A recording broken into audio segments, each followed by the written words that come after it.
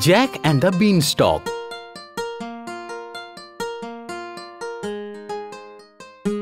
কিছু বছর আগে একজন মা তার ছেলে জ্যাকের সঙ্গে থাকতো। তাদের কাছে একটা গাই ছিল, যার নাম হলো মিল্কি হোয়াইট। তার দুধ মার্কেটে বিক্রি করে তারা তাদের জীবনযাপন করত। জ্যাক খুবই চালাক একজন ছেলে, কিন্তু তার মাকে কোনোদিনও সাহায্য করত না। হে ভগবান কি জানি তুই কবে শুধরাবি? কোনো কাজের নয় কি করব আমি এর? আমার তো এবার বয়স হচ্ছে আর কতদিন সামলাবো তোকে? চিন্তা করো না মা। আমি তোমার সব সময় খেয়াল রাখব। হাহ তুই নিজের খেয়ালটা রেখে নে ওটাই আমার জন্য অনেক বড়। এরকম ভাবেই চলতে থাকল। তারপর একদিন জ্যাকের মা বাজারে দুধ বিক্রি করতে গেল আর একদম ভয় পেয়ে গিয়েছিল। Jack Jack! হ্যাঁ কি হয়েছে মা? তুমি ঠিক আছো তো? ও জ্যাক দেখ না কি হয়ে গেল। মিল্কি হোয়াইটের দুধ শেষ হয়ে গেছে। জ্যাক এবার আমরা কি করব?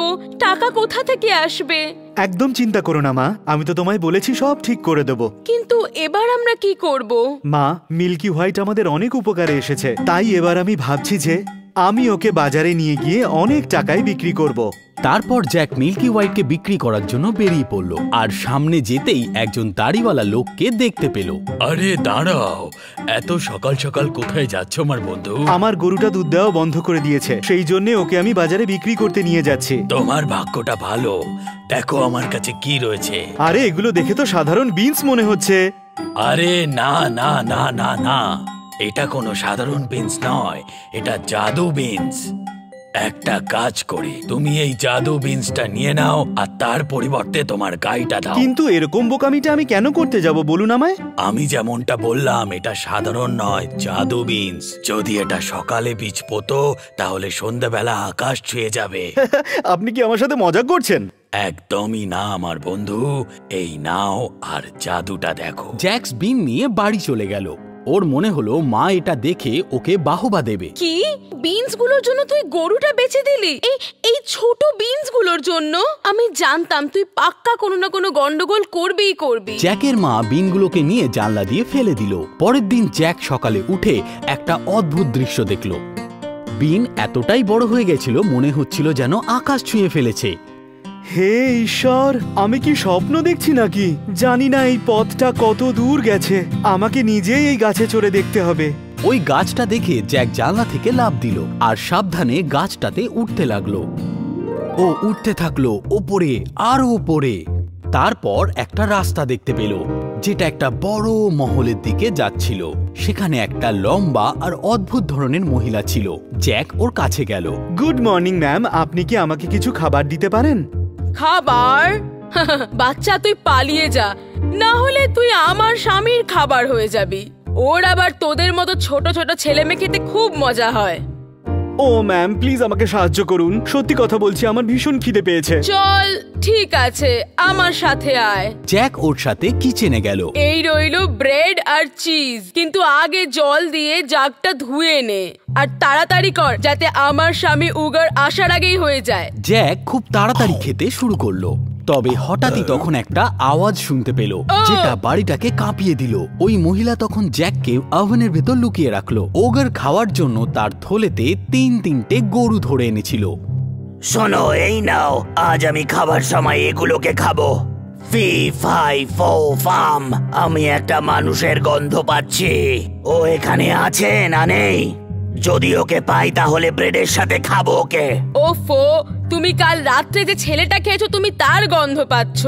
ঘরে এখন ওই গন্ধটা পাওয়া যাচ্ছে। তুমি নিজের ঘরে যাও। আমি খাবারটা ওখানেই নিয়ে আসছি। যখনই ওগর তার ঘরে গেল জ্যাক ওভেন থেকে বেরিয়ে এলো আর ওখান থেকে পালানোর চেষ্টা করল। ইতিমধ্যে ওগরের স্ত্রী তার সামনে চলে এলো। যতক্ষণও ঘুমিয়ে না পড়ে ভালো হবে তুমি থেকে যাও। ও যদি তোমাকে একবার দেখে নেয় তাহলে আজ রাত্রে তুমি ওর খাবার হয়ে যাবে।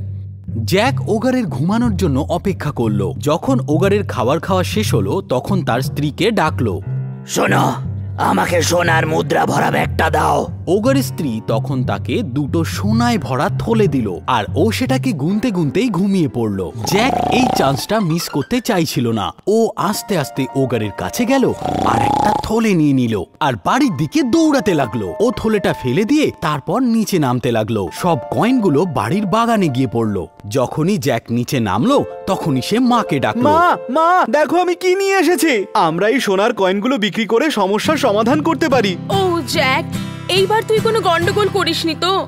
না মা একদমই না। তোমার আমার উপরে ভরসা নেই। জ্যাকের মা খুবই খুশি ছিল। এরপর কিছুদিন পর্যন্ত ওরা খুবই খুশি ছিল। কিন্তু খুব তাড়াতাড়ি সমস্ত কয়েনগুলো শেষ হতে লাগল। জ্যাক আবার ওই বিনস্টকে ওঠার কথা ভাবলো আর নিজের ভাগ্য পরীক্ষা করল। একদিন সকালে ও বিনস্টকে উঠল আর সেই রাস্তা দিয়েই ওগারের মহলের দিকে গেল। ওগারের স্ত্রী দরজাতেই দাঁড়িয়েছিল আর জ্যাক ওর কাছে গেল। শুনুন ম্যাম আপনি কি আমাকে কিছু খাবার দিতে পারেন? আমার ভীষণই খিদে পেয়েছে।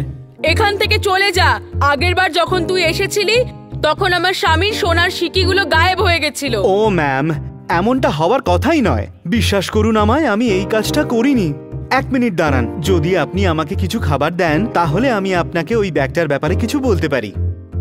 জানি না তোমার ওপর আর বিশ্বাস করা যায় কি না ঠিক আছে যাও আর খাবার খেয়ে নাও।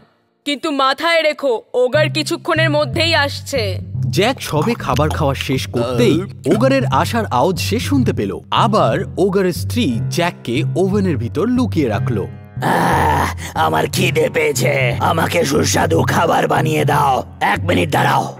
Fee fi fo fum. আমি কেমন একটা যেন মানুষের গন্ধ পাচ্ছি। ও এখানে আছে না নেই? যদি পাই তাহলে ব্রেডের সাথে খেয়ে নেব। ছাড়ো এবার। জানি না কেন প্রত্যেকবার তুমি খালি মানুষের গন্ধ পাও। আবার ওগারের স্ত্রী তাকে নানান রকম কথা বলে শান্ত করল। খাবারের পর ওগার তার স্ত্রীকে ডাকলো। শোনো আমাকে সোনার ডিম পাড়া ওই মুরগিটা এনে দাও। ও একটা ঘরে গিয়ে মুরগিটাকে নিয়ে এসে ওগারের সামনে টেবিলে রেখে দিল।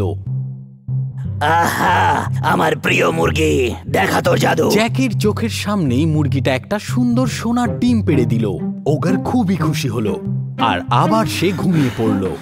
একটা মুরগি যে সোনার ডিম পারে খুব ভালো ব্যাপার। এটা যদি পাই তাহলে চিরদিনের জন্য বড় লোক হয়ে যাব।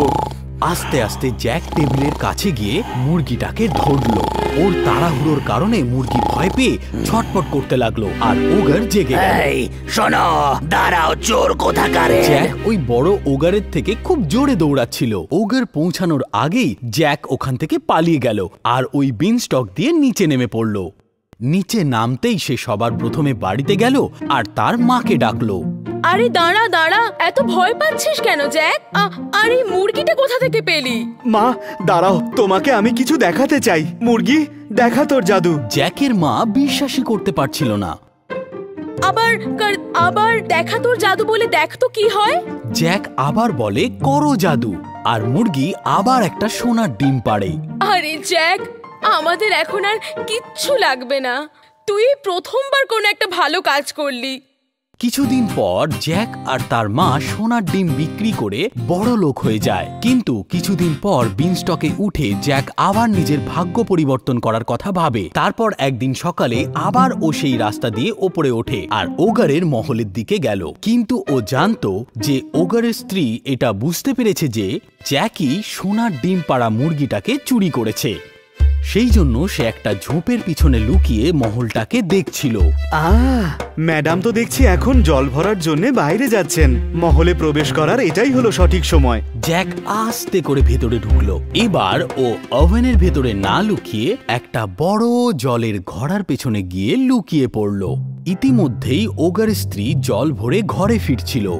কিছুক্ষণ পর জ্যাক ওগারের আসার আওয়াজ শুনতে পেল। ফি ফাই ফো ফাম আমি মানুষের গন্ধ পাচ্ছি। ও এখানে আছে না নেই? ওকে পেলে ব্রেডের সঙ্গে খেয়ে নেব। না আমি কোনো কিছুর গন্ধ পাচ্ছি আর না আমি কাউকে এখানে আসতে দেখেছি। তুমি আর তোমার এই অদ্ভুত নাক।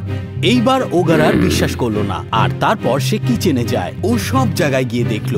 আভানেও জ্যাক ভয় পেয়ে গিয়েছিল। ওগার ওকে যে কোনো সময় ধরতে পারে। যখনই ওগার জ্যাকের দিকে যাচ্ছিল তখনই তার স্ত্রী তাকে ডাকলো। এবার কি এই বাজে বকাটা বন্ধ করবে? আর খাবারটা খাবে? ঠান্ডা হয়ে গেলে আবার কিন্তু বলবে না। হ্যাঁ ঠিক আছে। কিন্তু আমি জানি এখানে কোনো মানুষ নিশ্চয়ই আছে। যখনই ওগার খাওয়ার জন্য গেল জ্যাক একটা দীর্ঘ নিঃশ্বাস ফেলল। জ্যাক আবার একবার বেঁচে গেল।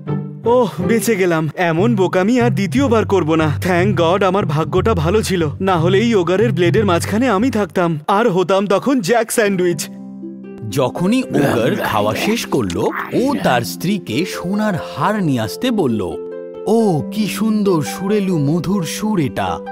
জ্যাক এরকম সুরেলু সুর কখনো শোনেনি। আর এইবারেও ওগারের ঘুম পাচ্ছিল। আর তারপরও শুয়ে পড়ল। জ্যাক কিছুক্ষণ দাঁড়াল আর তারপর আস্তে আস্তে ওই হাড়ের দিকে গেল আরও গিয়ে ওই ম্যাজিক্যাল হারটা নিয়ে নিল। কিন্তু না হার বাজা বন্ধ করল আরও চেঁচাতে লাগল। মাস্টার মাস্টার কেউ আমাকে নিয়ে যাচ্ছে। ওগার যখনই জাগলো তখন দেখল যে জ্যাক হার নিয়ে খুব জোরে দৌড়াচ্ছে। ওগার খুব রেগে গিয়েছিল। ও নিজের অস্ত্র তুলল আর জ্যাকের পিছনে দৌড়াতে লাগল। জ্যাক ভয় পেয়ে আরও জোরে দৌড়াতে লাগল। এখন ছোট জ্যাক এত বড় একটা ওগারের কাছে কীভাবে বাঁচবে? দেখতে দেখতেই ওগার জ্যাকের কাছে, আরও কাছে চলে এলো। জ্যাক কোনো প্রকারে বিনস্টক পর্যন্ত পৌঁছালো আর নিচে নামতে লাগল। ওগারও জ্যাকের সাথে সাথে নিচে নামতে লাগল, যার ফলে বিনস্টকটা জোরে জোরে নড়তে লাগল। অন্যদিকে জ্যাকের মা জ্যাককে অনেকক্ষণ ধরে বাড়িতে খুঁজছিল। জ্যাককে খুঁজে না পেয়ে খুবই চিন্তিতভাবে বাড়ির বাইরে এলো। জ্যাক যখনই ওকে দেখল দেখে মাকে ডাকতে লাগল। মা মা তাড়াতাড়ি! বাগান থেকে একটা কুরুল নিয়ে এসো! ও আমার বাবা! জ্যাক এটা হচ্ছেটা কি? আর এই অদ্ভুত ভয়ানক মানুষটা আমি তোমাকে পরে সব বলছি! তাড়াতাড়ি গিয়ে একটা কুরুল নিয়ে এসো! জ্যাকের মা তাড়াতাড়ি বাগানে গেল আর একটা কুড়ুল নিয়ে এলো। জ্যাক তাড়াতাড়ি নিচে পৌঁছেই ও কুড়ুল দিয়ে বিনস্টকটা কাটতে শুরু করে দিল। কাটতে কাটতে বিনস্টকটা অর্ধেক হয়ে গেল আর এতটা দুর্বল হয়ে গেল এত বড় ওগারের ওজনটা নিতে পারল না আর ওগার ধপ করে নিচে পড়ে গেল। আরে আরে ওগার আর বেঁচে নেই ও আর নেই! এভাবেই শয়তান ওগার আর বিনস্টকটা শেষ হলো।